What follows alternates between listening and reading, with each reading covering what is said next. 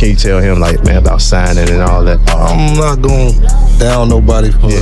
signing a record deal because it's good for some people, you know what I'm saying? But me, I'm kind of, I do everything myself, you know what I'm saying? And the thing with me uh, on record deals, they don't really do nothing. If you're not a priority for the label, they don't do much. So you got to do everything anyway. So you got to have your own core people, core team pushing your music. And I, I kind of got too smart, man. I got too smart to, to even to stay on the label. Like I know everything they know. I know all the people they know.